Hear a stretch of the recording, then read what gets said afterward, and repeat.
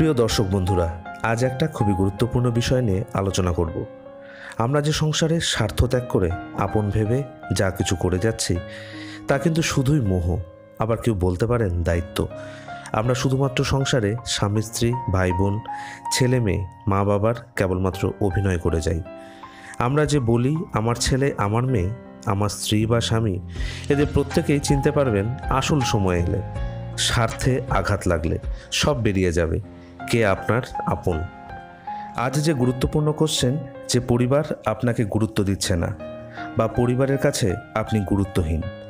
একজন বলছিলেন, বাড়ির বৌমা, পরিবারের সমস্ত বিষয় আমাকেই দেখতে হয়, কিন্তু আমাকে সবসময় ইগনোর করা হয়। আমার মতামতের কোনো গুরুত্ব নেই। আমার মতামত কেউ শুনতেই চায় না। আমি নিজে আত্মকষ্ট পাই। আর অনেক ক্ষেত্রে তো এটা আছেই। সংসারে আপনি যতদিন দিতে পেরেছেন, সংসারে অর্থ চাহিদা হওয়ার আগেই দিতে পেরেছেন, তার গুরুত্ব ছিল। এখন অর্থ নেই, অর্থ দিতে পারছেন না, সেই সংসারে আপনার আর কোনো কদর নেই। আপনাকে আর পাত্তা দেওয়া হয় না। আপনাকে তাচ্ছিল্য করা হয়। তাদের কোনো ভ্যালু নেই। সঙ্গত কারণে বাড়ির যে সদস্য রোজগার করে না, তাকে মানুষ বলেই ভাবা হয় না। আবার অন্য রকমও দেখে থাকবেন। পরিবারের সমস্ত ঘানি টানছেন, কিন্তু বাড়ির কলকাঠি অন্য কেউ নাড়ছেন। একজন স্বামী তার স্ত্রী সম্পর্কে অভিযোগ করছেন, বাড়িতে আমার স্ত্রী সব, তার কথাই শেষ কথা। আমার কথা তো কেউ শুনতেই চায় না। স্ত্রী হচ্ছেন দণ্ডমুণ্ডের কর্তা। সাংসারিক বিষয়ে স্বামীর কোনো গুরুত্বই নেই। এই রকম নানাবিধ সমস্যা। এ তো গেল স্বামী স্ত্রীর ব্যাপার। কিন্তু ছেলে মেয়ে আজকাল ছেলেমেয়েরাও তার বাবা মায়ের কথার কোনো গুরুত্বই রাখে না। তারা বাবা মায়ের সাথে কুকুর বেড়ালের মতো আচরণ করছে। বাবার হোটেলে খাচ্ছে যাচ্ছে আর বাবার টাকায় ফুর্তি করছে। আজকাল এমন ছেলে মেয়েদের ঘরে ঘরে দেখা যায়। আবার তাদের কিছু বললে তারা এমনভাবে রিয়াক্ট করবে যেন আপনার কথার কোনো ভ্যালুই নেই। এই রকম নানাবিধ সমস্যায় জড়িয়ে গেছেন যখন, তখন কি করবেন? কথায় বলে মানুষ যখন ভুল করে, তখন বুঝতে পারে না। কিন্তু যখন বুঝতে পারে, তখন সময় থাকে না। পরিবার আপনাকে গুরুত্ব দেয় না। জোর করে কখনোই গুরুত্ব পাওয়া যায় না।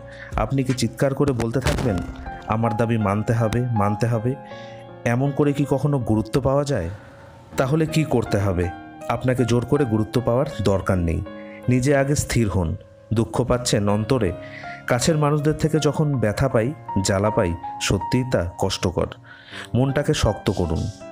কাদের জন্য করছেন? দেখতে পাচ্ছেন তো? কাদেরকে আপনি আপন বলেছেন। পরিবারের এই লোকগুলো কি আপন? এরাই আপনাকে গুরুত্ব দেয় না। এরা আপনাকে কষ্ট দেয়। পরিবারের যারা আপনাকে অবহেলা করছে, তবে এরা কিন্তু আপনার আপন নয়। নিজের মনের মধ্যে একটা ভুবন তৈরি করুন। নিজের মনকে বোঝান এবং যা হয়েছে তা আর দ্বিতীয়বার নয়। এবার থেকে নিজেকে নিয়ে বাঁচুন। নিজের জন্য সময় অতিবাহিত করুন। নিজেকে খুশি করার জন্য যা যা করা উচিত, সেই কাজগুলো করুন। পরিবারের কথা ভাবতে ভাবতে আপনি নিজেকেই হারিয়ে ফেলেছিলেন। নিজের সর্বস্ব বিসর্জন দিয়ে তাদেরকে খুশি করতে চেয়েছিলেন, কিন্তু এর পরিণাম আপনি হাতে নাতে পেয়ে গেলেন। সুতরাং কোনো কিছুতেই লাভ নেই। নিজের জন্য বাঁচুন, নিজের কথা ভাবুন। দেখবেন অনেক শান্তি পাবেন। নিজেকে বিভিন্ন কাজে ব্যস্ত রাখুন। সময় এসেছে নিজেকে বদলানোর। আপনি যে পরিবারকে এতটা ভালোবেসেছিলেন, সেই পরিবারের কাছ থেকেই যখন আঘাত পাচ্ছেন, কোনো গুরুত্ব পাচ্ছেন না, এটা কিন্তু একদিনে হয়নি। আপনার অফুরন্ত ভালোবাসাই তাদের মনে বিষ বৃক্ষ তৈরি করে দিয়েছে। কথায় বলে প্রয়োজনের তুলনায় যা কিছু, সবটাই বিষ। তা অর্থই হোক বা ভালোবাসা, তাই সেই বীজ থেকে নিজেকে বাঁচাতে হবে। নিজেকে সামলে রাখতে হবে। দুঃখ পাবেন না, আপনি নিজের দোষেই আজ গুরুত্বহীন। তাই নিজেকে পাল্টে ফেলুন, বদলে ফেলুন আগের সব কিছু যতটুকু করার, তার বাইরে কোনো কিছুই নয়। অগ্রিম তো নয়ই, চাহিদা রেখে যোগানের ব্যবস্থা করুন। দেখবেন আবার সবাই আপনার পিছে পিছে বেড়ালের মতো মিউ মিউ করতে থাকবে।